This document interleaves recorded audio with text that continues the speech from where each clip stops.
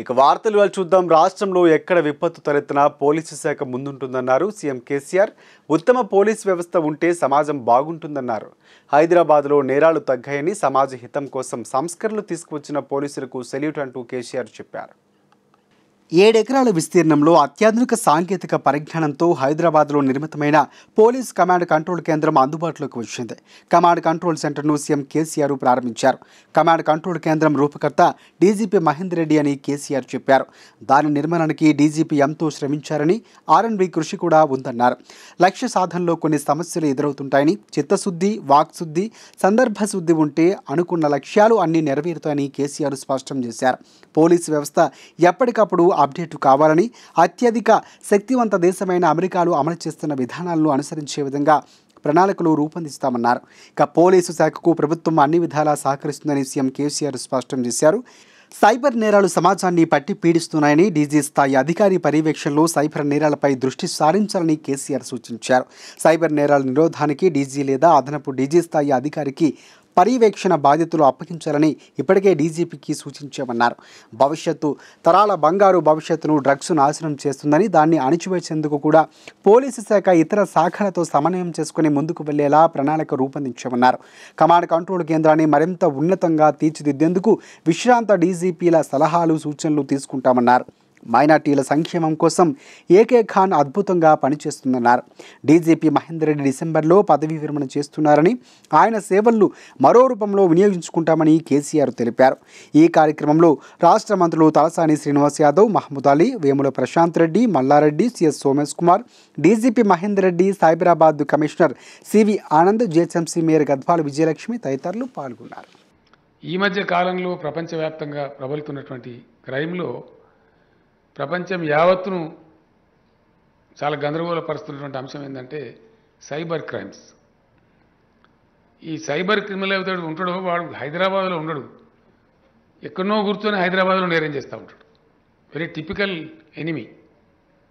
Very critical subject. వారిని నేను కోరినాను. పెద్దలతో సంప్రదించి దానికి సంబంధించినటువంటి ఇంటర్నేషనల్ మేనేజ్మెంట్ ఎట్లా ఉందో ఒకసారి కనిపెట్టి ఒక డీజీ లేదా అడిషనల్ డీజీ స్థాయి అధికారిని పెట్టి ఈ సైబర్ క్రైమ్స్ మీద స్పెషలైజేషన్ మనం చేయాలా అని కూడా చెప్పడం జరిగింది. అదేవిధంగా సమాజానికి చాలా ప్రమాదకరంగా పరిణమిస్తున్నటువంటి డ్రగ్స్ నార్కోటిక్స్ ఏదైతే ఉందో అది చాలా భయంకరం. సమాజం యొక్క జీవికనే ప్రశ్నించేటువంటి ఒక మహమ్మారి భవిష్యత్తు తరాల యొక్క బంగారు భవితను నాశనం చేసేటువంటి ఒక యాటమ్ బాంబ్ కంటే కూడా చాలా ప్రమాదకరమైనటువంటి మానవ జీవికనే ఛాలెంజ్ చేస్తున్నటువంటి మానవ జీవితాన్నే ఛాలెంజ్ చేస్తున్నటువంటి భయంకరమైనటువంటి విషయం. సో దానికి సంబంధించి సిలబస్లో మార్పులు చేయటం కానీ మా లింబాద్రి గారు ఇక్కడ ఉన్నారు. విద్యావేత్తలు కూడా ఉన్నారు చాలామంది. వారు ఆలోచించాల్సిన అవసరం ఉంది. పోలీస్ శాఖగా నేరాన్ని నియంత్రించేటువంటి బాధ్యతలో పోలీస్ శాఖ చాలా ప్రధాన పాత్ర పోషించాల్సిన అవసరం ఉంది. Telangana police integrated command control centre ప్రారంభోత్సవంపై మంత్రి కేటీఆర్ ప్రశంసలు కురిపించారు. ట్విట్టర్లో తెలంగాణ కోసం ప్రపంచస్థాయి ఇంటిగ్రేటెడ్ కమాండ్ కంట్రోల్ సెంటర్ను నిర్మించిన సీఎం కేసీఆర్ దార్శనికతకు వందనాలు తెలిపారు. ఇవాళ సీసీసీసీని రాష్ట్ర ప్రజలకు అంకితం చేస్తున్నానని ట్వీట్ చేసి దానికి సంబంధించిన వీడియోను నెటిజన్లతో పంచుకున్నారు కేటీఆర్. మరో ట్వీట్ చేసిన మంత్రి ఇది కేసీఆర్ తెలంగాణ అని innovation infrastructure and inclusive growth మంత్రతో ముందుకు వెళుతున్నామని వెల్లడించారు. తెలంగాణలో అభివృద్ధి చేసిన యాదాద్రి ఆలయం కాళేశ్వరం ప్రాజెక్ట్ రోడ్లు టీ హబ్ తీగల వంతెన టీఎస్పీఐసీసీసీ ఫోటోలు ట్వీట్ చేశారు. రాష్ట్ర హైకోర్టు న్యాయమూర్తిగా చాడ విజయభాస్కర్ రెడ్డి ప్రమాణ స్వీకారం చేశారు. హైకోర్టు ప్రధాన న్యాయమూర్తిగా జస్టిస్ ఉజ్జల్ భుయాన్ ఆయనతో ప్రమాణం చేయించారు. ఉమ్మడి మెదక్ జిల్లా దుబ్బాకలో జన్మించిన విజయభాస్కర్ రెడ్డి ఉస్మానియా విశ్వవిద్యాలయం నుంచి బీఎస్సీతో పాటు న్యాయశాస్త్రంలో డిగ్రీ పొందారు. పంతొమ్మిది వందల తొంభై రెండు డిసెంబర్ ముప్పై ఒకటిన న్యాయవాదిగా బార్ కౌన్సిల్లో ఎన్రోల్ అయిన ఆయన ఎన్ఐఆర్డి ఏపీ చిన్న తరహా పరిశ్రమల అభివృద్ధి corporation Warangal municipal corporation standing కౌన్సిల్గా సేవలందించారు. రెండు వేల పద్నాలుగు నుంచి ప్రభుత్వ న్యాయవాదిగా కొనసాగుతున్నారు. ఇక విజయభాస్కర్ రెడ్డితో కలిపి హైకోర్టులో మొత్తం న్యాయమూర్తుల సంఖ్య ఇరవై ఎనిమిదికి చేరింది. మునుగోడు తరహాలోనే రాష్ట్రంలో మరిన్ని ఉప ఎన్నికలు రాబోతున్నాయంటూ బీజేపీ రాష్ట్ర అధ్యక్షుడు బండి సంజయ్ హాట్ కామెంట్స్ చేశారు. రాష్ట్రంలో ఎప్పుడు ఎన్నికలు వచ్చినా బీజేపీ అధికారంలోకి రావడం ఖాయమని ఈ విషయాన్ని సర్వేలు కూడా చెబుతున్నాయన్నారు. రెండు రోజుల క్రితం వచ్చిన నివేదిక ప్రకారం రాష్ట్రంలో బీజేపీ అరవై నుంచి అరవై ఐదు సీట్లు గెలవబోతున్నట్లు బండి సంజయ్ చెప్పారు. రాష్ట్రంలో జరిగిన నాలుగు ఉప ఎన్నికల్లో రెండు చోట్ల గెలిచామని మునుగోడు ఉప ఎన్నిక రాష్ట్ర భవిష్యత్తును నిర్మించేదని చెప్పారు. ఇక ప్రధాని మోదీ నాయకత్వంపై నమ్మకంతోనే పార్టీలోకి ఎవరు వచ్చినా చేర్చుకుంటామని వ్యక్తిగత ప్రయోజనాల కోసం వచ్చేవారికి మాత్రం బీజేపీలోకి స్థానం లేదన్నారు. టికెట్ల విషయంలో ఎవరికీ గ్యారంటీ లేదని ఆ విషయాన్ని పార్టీ పార్లమెంటరీ బోర్డే నిర్ణయిస్తుందని స్పష్టం చేశారు. ఇక కోమటిరెడ్డి బ్రదర్స్ చాలా సందర్భాల్లో మోదీ బీజేపీ పథకాలు ప్రశంసించారని బండి సంజయ్ చెప్పారు. మీరు మొదటి నుంచి కూడా కోమటిరెడ్డి వెంకటరెడ్డి గారు కానీ కోమటిరెడ్డి రాజగోపాల్ గారు కానీ అనేక సందర్భాల్లో భారతీయ జనతా పార్టీకి మద్దతు అంటే మేము కొట్లాడుతున్నాం కాబట్టి టీఆర్ఎస్ పార్టీ ప్రభుత్వం పెట్టి కొట్లాడుతున్నాం కాబట్టి చాలా మంది మాకు అనుకుంటున్నా మాట్లాడుతున్నారు. చాలా సందర్భాల్లో మోడీ గారు వెంకటరెడ్డి. మోడీ గారి యొక్క సంక్షేమ పథకాలు ప్రశంసించారు. ఆయన నియోజకవర్గానికి సంబంధించి చాలా విడుదల పత్రాలు ఇచ్చిండు. సమర్థ మంత్రులు వెళ్తున్నారు అక్కడ కేంద్ర ప్రభుత్వం యొక్క మోడీ గారి యొక్క పాలన చూసి మోడీ గారి యొక్క నిజాయితీవంతమైన పాలన చూసి వాళ్ళ వాళ్ళందరూ ఆకర్షిస్తారు తెలంగాణ రాష్ట్రంలో కొట్లాడుతున్నారు. ఏమని చెప్పండి ఇప్పుడు?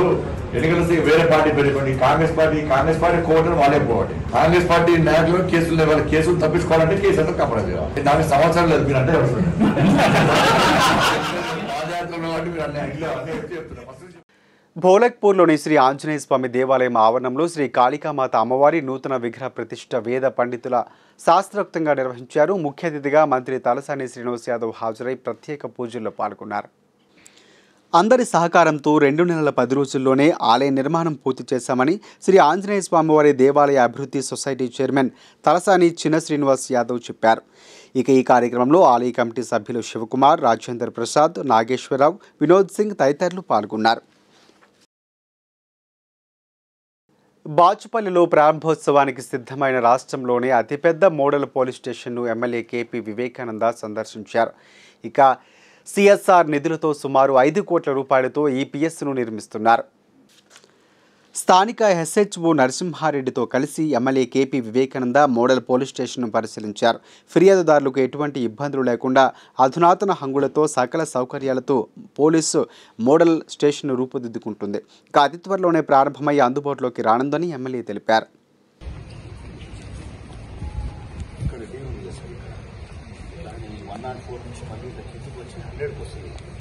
తెలంగాణ ప్రభుత్వం హరితహారం కోసం ఎనలేని కృషి చేస్తుందంటూ ISF urban biodiversity additional commissioner V Krishna అన్నారు.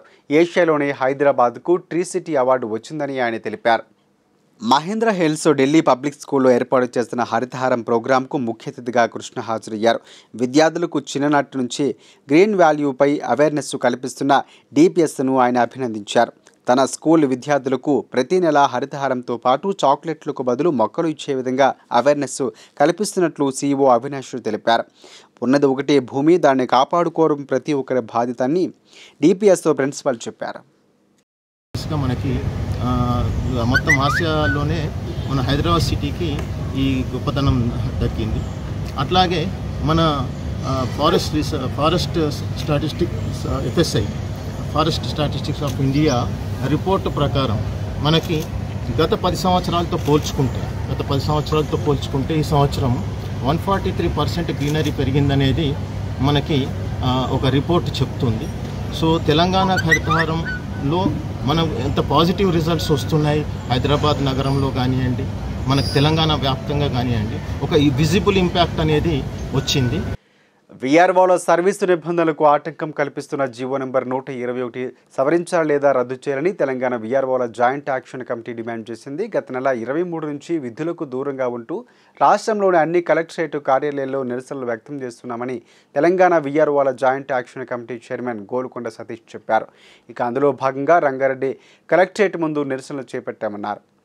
ప్రభుత్వం జీవో నెంబర్ నూట ఇరవై ఒకటి ద్వారా బదిలీ ఆర్డర్లు బలవంతంగా తమపై రుద్దుతూ భయాందోళనకు గురి చేస్తుందని వారు విమర్శించారు. తహసీల్దార్లు ఆర్టీఓలు కలెక్టర్లు జారీ చేస్తున్న ఆర్డర్లు ఎట్టి పరిస్థితుల్లోనూ తిరస్కరిస్తామన్నారు.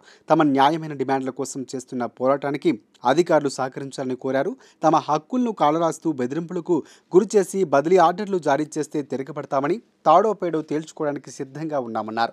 భారత రాజ్యాంగానికి వ్యతిరేకంగా తమపై ఒత్తిడి తెస్తే ప్రభుత్వం ఇచ్చే ఆదేశాలు తిరస్కరిస్తామని చెప్పారు. ఈ జీవో ద్వారా ఐదు వేల నాలుగు వందల ఎనభై ఐదు మంది విఆర్ఓల సర్వీసులను సీనార్టీని కోల్పోవడం జరుగుతుందని చెప్పారు. తద్వారా ఉద్యోగ భద్రత లేనందున విఆర్ఓలందరినీ రెవెన్యూ శాఖలోనే సూపర్ న్యూమరీ జూనియర్ అసిస్టెంట్ హోదాలో రెవెన్యూ శాఖలో ఉన్నటువంటి అన్ని కార్యాలయాల్లో సర్దుబాటు చేస్తే సీనియార్టీకి సర్వీస్కు ఎలాంటి ఆటంకాలు ఉండవని చెప్పారు. తమకు న్యాయం జరుగుతుందని వారు ఆశాభావాన్ని వ్యక్తం చేశారు. రాష్ట్ర ప్రభుత్వాన్ని ఈ వేదిక ద్వారా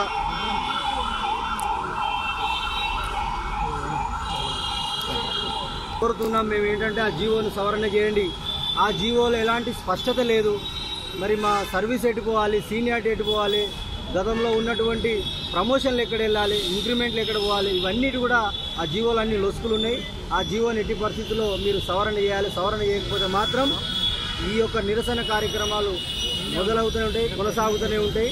రాష్ట్రం మొత్తం ముప్పై మూడు జిల్లాలలో ఈ నిరసన కార్యక్రమాలు కొనసాగితే ఏ ఒక్కరు కూడా జాయిన్ కారు జాయిన్ కాకపోతే కొంతమంది అధికారులు బలవంతపు ఆర్డర్లు తీసి భయాందోళనకు గురి చేసి మిమ్మల్ని సస్పెండ్ చేస్తాం మిమ్మల్ని రిమూవ్ చేస్తామని చెప్పేసి అధికారులు భయపెడతా ఉన్నారు. కోటిలోని డిఎంఈ కార్యాలయం ముందు మెడికల్ విద్యార్థులు నిరసన తెలిపారు. రద్దు చేసిన తమ మెడికల్ సీట్లను వెంటనే రీఅలోకేట్ చేయాలని డిమాండ్ చేశారు. ఎంఎన్ఆర్ మహావీర్ టీఆర్ఆర్ మెడికల్ కాలేజీలకు చెందిన పీజీ మెడికల్ విద్యార్థులు నిరసన చేపట్టారు. ఇక national medical council NMC guidelines ఇచ్చిన ప్రభుత్వం నిర్లక్ష్యం వహిస్తుందని చెప్పారు. దీనిపై హైకోర్టును ఆశ్రయించమని కోర్టు నాలుగు వారాల గడువు ఇచ్చిందని చెప్పారు. ఇప్పటికీ మూడు వారాల గడువు ముగిసిందని మరో వారం రోజులే ఉందని చెప్పారు. కాళోజీ నారాయణరావు యూనివర్సిటీ పరిధిలోని ఈ మూడు మెడికల్ కాలేజీలకు సంబంధించి సీట్లు రద్దు కావడంతో తాము రోడ్డున పడ్డామని వాపోయారు.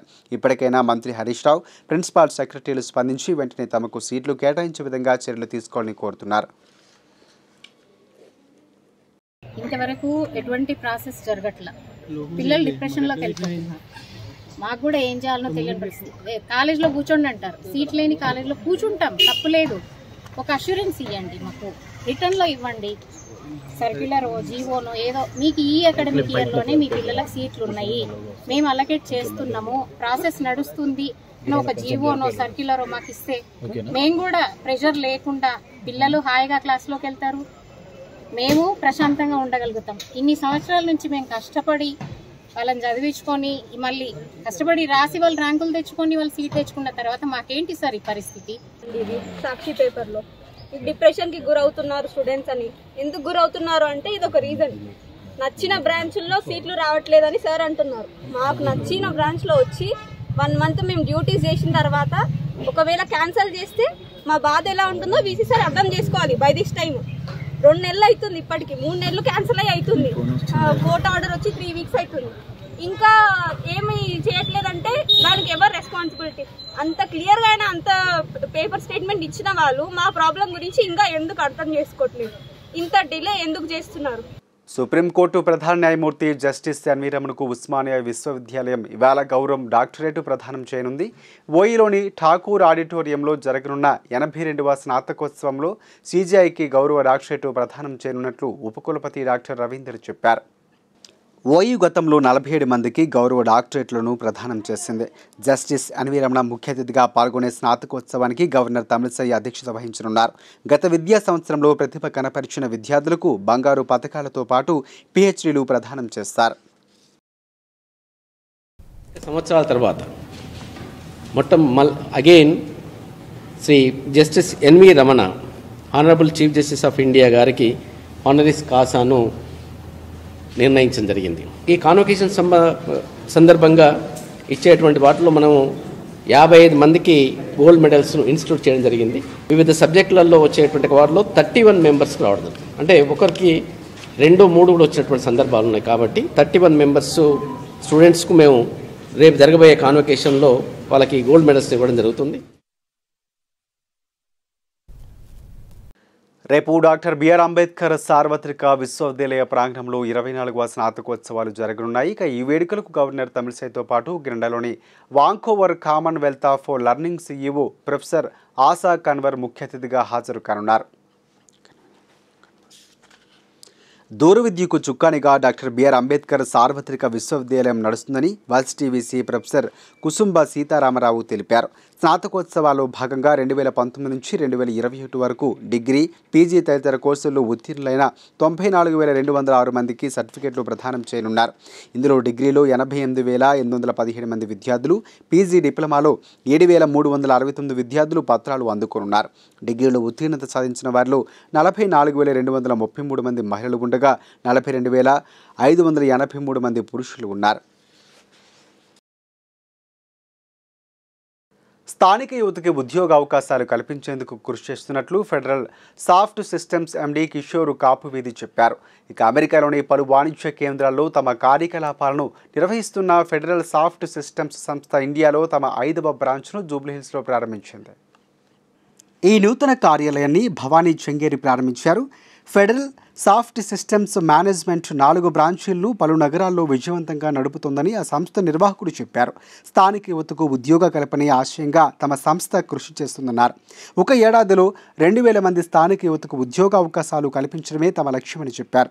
ఫెడరల్ సాఫ్ట్ సిస్టమ్స్ సంస్థ ద్వారా సాఫ్ట్వేర్ సేవలు ఆర్టిఫిషియల్ ఇంటెలిజెన్స్ అనుసంధానం చేసిన my talking tree magic mart అనే విద్య సంబంధిత టెక్నాలజీల ఉత్పత్తులు క రోల్ ఓవర్ స్టాక్ అనే బీ ఈ కామర్స్ మార్కెట్ ప్లేస్లు నడుస్తున్నాయి. ఈ కార్యక్రమంలో CEO Kishore Kumar ఏడం executive director Kalyana Krishna chief sales officer Kishore పలువురు పాల్గొన్నారు. సికింద్రాబాద్ విధ్వంసం కేసులో అరెస్ట్ అయిన పదిహేను మంది ఆర్మీ అభ్యర్థులు జైలు నుంచి విడుదలయ్యారు. కోర్టు వారికి బెయిల్ మంజూరు చేయడంతో రిలీజ్ అయ్యారు. చంచలగూడ జైలు వద్దకు వారి కుటుంబ సభ్యులు భారీగా తరలివచ్చారు.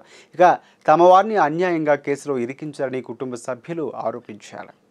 గత నెల జూన్ పదిహేడు తారీఖు మా పిల్లల్ని అక్రమంగా రైల్వే కేసులో అగ్నిపథ దాంట్లో వాళ్ళు వివరణ ఇవ్వనీకి పోతే పిల్లలు అలర్ట్ చేసిందని చెప్పేసి వాళ్ళని గేట్ బయటనే పట్టుకొని అరెస్ట్ చేశారు సార్ పిల్లల్ని మొత్తం. అందులో అంటిబెట్టిన వాళ్ళు ఏమో అంటిబెట్టి దింకపోయినరు. అమాయకమైన పిల్లల్ని అరెస్ట్ చేసిండ్రు సార్. ఎస్సీ ఎస్టీ కొంతమంది లమ్మడోళ్ళ పిల్లలు ఉన్నారు. తర్వాత బీసీలు ఉన్నారు. అందరూ నిరుపేద కుటుంబాలు సార్. వాళ్ళ ఎంత నిరుపేద కుటుంబాలు అంటే అన్ని వ్యవసాయ కుటుంబాలు.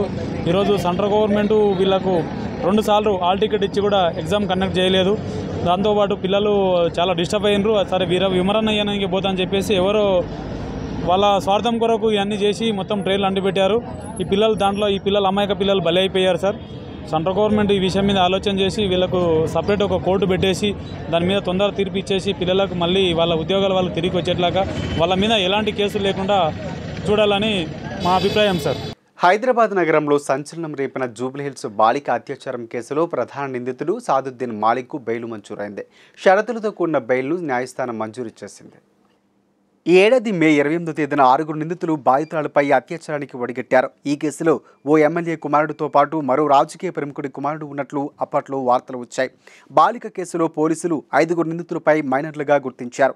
మే ముప్పై ఒకటవ తేదీ వరకు జరిగిన ఘటన గురించి బాలిక తన తల్లిదండ్రులకు చెప్పలేదు. తల్లిదండ్రులకు అనుమానం వచ్చి పోలీసులకు ఫిర్యాదు చేయడంతో మే ముప్పై ఒకటిన జూబ్లీహిల్స్ పిఎస్లో కేసు నమోదైంది. ఈ ఘటనపై రాజకీయ దుమారం రేగడంతో పోలీసులు కేసును ప్రతిష్టాత్మకంగా తీసుకుని అన్ని కోణాలు కోణాల్లో దర్యాప్తును ప్రారంభించారు. ప్రతి సీసీటీవీ ఫుటేజ్ని క్షుణ్ణంగా పరిశీలించి కేసు విచారణ చేపట్టారు. గతంలో బాలిక కేసులో నలుగురు నిందితులకు బెయిల్ మంజూరైంది. నిందితులకు షరతులతో కూడిన బెయిల్ ఇచ్చేందుకు జువనెల్ కోర్టు అనుమతి ఇచ్చింది. ఛార్జిషీట్లో సాదుద్దీన్ మాలికకు పోలీసులు ప్రధాన నిందితుడిగా చేర్చారు. ఈ కేసులో ఫోరెన్సిక్ నివేదిక కీలకంగా మారింది. అత్యాచారం జరిగిన వాహనం నుంచి కీలక ఆధారాలను ఇప్పటికే పోలీసులు సేకరించారు.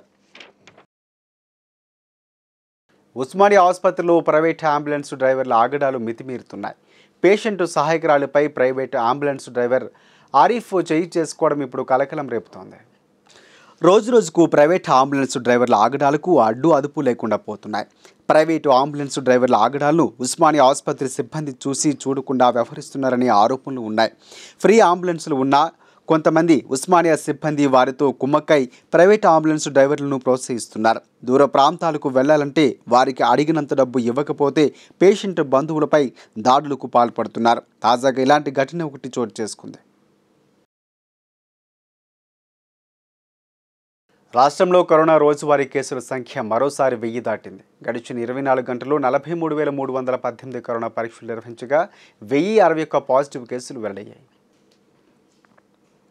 గ్రేటర్ హైదరాబాద్ వ్యాప్తంగా మరోసారి కరోనా కేసులు పెరిగాయి. నగర వ్యాప్తంగా నాలుగు వందల ఒక్క కరోనా కేసులు నమోదు కాగా రంగారెడ్డి జిల్లాలో అరవై మూడు మేడ్చల్ మలకాజ్గిరి జిల్లాలో యాభై ఆరు నల్గొండ జిల్లాలో యాభై ఒకటి రాజన్న సిరిసిల్ల జిల్లాలో నలభై ఆరు కరీంనగర్ జిల్లాలో నలభై మూడు కేసులు నమోదయ్యాయి. అదే సమయంలో ఎనిమిది వందల ముప్పై ఆరు మంది కరోనా నుంచి కోలుకున్నారు. కొత్తగా మరణాలు ఏవి సంభవించలేదు. రాష్ట్రంలో ఇప్పటిదాకా ఎనిమిది లక్షల ఇరవై మూడు వేల ఏడు వందల ఇరవై నాలుగు మంది కరోనా బారిన పడగా వారిలో ఎనిమిది లక్షల పదమూడు వేల రెండు వందల యాభై ఆరు మంది ఆరోగ్యవంతులయ్యారు. ఇంకా ఆరు వేల మూడు వందల యాభై ఏడు మంది చికిత్స పొందుతున్నారు. రాష్ట్రంలో కరోనాతో ఇప్పటిదాకా నాలుగు వేల నూట పదకొండు మంది మరణించినట్లు రాష్ట్ర వైద్యారోగ్య శాఖ బులెటిన్లో పేర్కొంది. నగరంతో పాటు తెలంగాణ వ్యాప్తంగా వర్షాలు కురుస్తూనే ఉన్నాయి. తేలికపాటి నుంచి మోస్తారు వర్షాలు పడుతున్నాయి. హైదరాబాద్ నగరంలో అయితే ప్రతిరోజు రోజులో ఏదో ఒక సమయంలో వర్షం కురుస్తూనే ఉంది. గురువారం కూడా పలు ప్రాంతాల్లో భారీ వర్షం కురడంతో లోతట్టు ప్రాంతాలు జలమయమయ్యాయి. గురువారం హైదరాబాద్లోని పలు ప్రాంతాల్లో వాన దంచుకొట్టింది Kukatpally Hydernagar Allwyn colony KPHB Koti Begum Bazaar Abids Nampally Shaikpet Lakdikapul Himayat Nagar Narayanguda Liberty Miyapur Chandanagar Gachibowli Saidabad Shamshabad Satamrai Gagan Pahad తొండుపల్లిలో వర్షం కురిసింది. యూసఫ్గూడ ప్రాంతాల్లో ఒక్కసారిగా కుండపోత వర్షం కురియడంతో వాహనదారులు రహదారులన్నీ జలమయమయ్యాయి. ఇక B Srikrishnanagar B block community hall వీధి సింధు టిఫిన్ సెంటర్లో వీధిలో వరద నీరు పొంగింది. ఇక రోడ్లపై నుంచిన వాహనాలు వాలనీటిలో మునిగిపోయాయి. మోకాల వరకు వరద వస్తుండడంతో స్థానికులతో పాటు వాహనదారులు తీవ్రంగా ఇబ్బందులు ఎదుర్కొన్నారు. అంతవరకు సాధారణంగా ఉన్న వాతావరణం ఒక్కసారిగా మేఘామృతమై కుండపోతగా వర్షం కురియడంతో నగరవాసులు తడిసి ముద్దయ్యారు. నిన్న అత్యధికంగా షాపూర్ నగర్లో నాలుగు సెంటీమీటర్ల వర్షపాతం నమోదైంది.